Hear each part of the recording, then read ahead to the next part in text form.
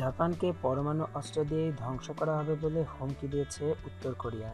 কিমের সাম্রাজ্যকে চাপের মুখে ফেলার প্রচেষ্টাতেই মঙ্গলবার কড়া বার্তা স্বরূপ এই হুমকি এসেছে বলে মনে করছে অনেকে। উত্তর কোরিয়ার রাষ্ট্র নিয়ন্ত্রিত সংবাদ সংস্থা কেসিএনের বক্তব্য অনুযায়ী, জাপানের প্রধানমন্ত্রী শিনজো আবে গত মাসে জাতিসংঘের মহাসম্মেলনে উত্তর কোরিয়াকে পরমাণু অস্ত্র পরীক্ষার বিষয়ে পিছিয়ে আসার জন্য চাপ দেয়। গত আগস্ট মাসের শেষের দিকে জাপানের একটি শক্তিশালী ক্ষেপণাস্ত্র প্রয়োগ করে উত্তর কোরিয়া, যা জাপান অতিক্রম করে চলে যায়।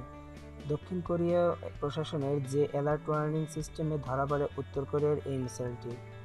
যদিও জাপানের কোনো ক্ষতি হয়নি, দেখতে গেলে পুরো বছর ধরে একের পর এক ক্ষেপণাস্ত্র নিক্ষেপ করে গেছে উত্তর কোরিয়ার একনায়ক কিম জং উন জাতিসংঘ আমেরিকা সহ বিশ্বের একাধিক দেশের বিরোধিতা সত্ত্বেও কোনো গ্রাহ্য করেনি তারা।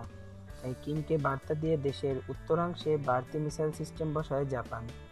জানা গেছে, দক্ষিণ হেক্কাইডো দ্বীপে বসানো হয়েছে বাড়তি missile system. PAC three ground self defence force ব্যবহার করা হচ্ছে হেক্কাইডোর এই অংশে। অন্য অংশে ব্যবহার করা হয়েছে Patriot advance capability three missile system. উত্তর কোরিয়ার পরমাণু বিস্ফোরণ কর্মসূচি নিয়ে আলোড়ন ছড়িয়ে পড়েছে দুনিয়ার সর্বত্র। বিভিন্ন সংবাদ মাধ্যমের দাবি, ষষ্ঠ পরমাণু বিস্ফোরণের মাত্রা গত পরীক্ষার থেকে নয় পয়েন্ট আট গুণ বেশি, যা এক মুহূর্তে উড়িয়ে দিতে পারে হিরোসীমা নাগাসাকিতে নিক্ষেপ করা পরমাণু বোমাকে।